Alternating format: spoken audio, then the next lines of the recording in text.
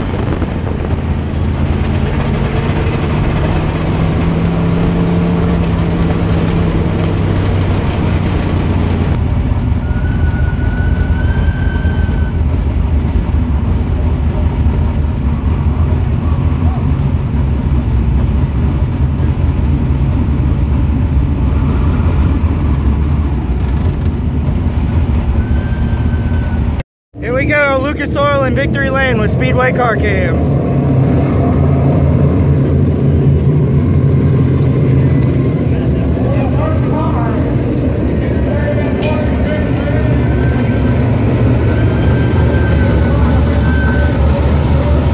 There's the four-time champion gets another time. Champion gets another. How you doing, son? Getting home. Congratulations, sir. Thanks, sir. Long time coming. Sir. You know I got the big hands. You got it right. FloRacing TV, man, TV. Advanced Nation Running Master Speed Five. And Lucas Oil Victory Lane. How about it? Hurricane Earl Pearson Jr. did it tonight.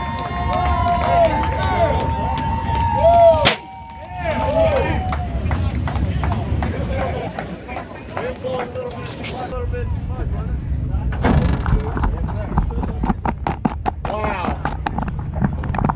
I'll tell you something, like I told the fans, it's going to show that you ran every lap here tonight, but that baby was not easy by, by I'm here with the Super Late Model race winner. How was that race tonight?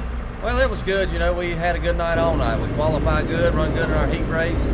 Uh, Lucas Oil car was very good. We can move all over the racetrack during the feature. Uh, McIntosh, uh, Jimmy Owens, Josh Richards, um, all them guys. I know they was right there behind me, but I just maintained my line there around the top. And uh, like I said, if they don't pass me, they have to pass me on the bottom. But you know, like I say, our car was good, our Longhorn chassis. And but the biggest thing is, is when Josh got up on the leaderboard there, I knew he's gonna be tough to handle, and I knew he's on a little bit softer tires, so I knew he could fire off real good. But you know, everything was on my side, even when we got into the lap traffic. Uh, the caution would come out, so we didn't have to deal with that part of it. So everything lined up for me tonight. How long you been racing? Well, I started in '82 and uh, raced go karts for a long time with my family, and uh, start after that I went to the One Modified in the '90s, and then got into the super late models in early, you know, the 2000s there. So uh, been doing it for quite some time. What's your most memorable race? Uh, probably uh, the Dirt Track World Championship. My mom was real sick, and we won that. And a couple days later, after that, she passed away. So that definitely is the one that always stick out to me. Gotcha. Well, you heard it here with Speedway car cams. We had a front rear on the winner here, and we look forward to getting that online. All right, sounds good, buddy.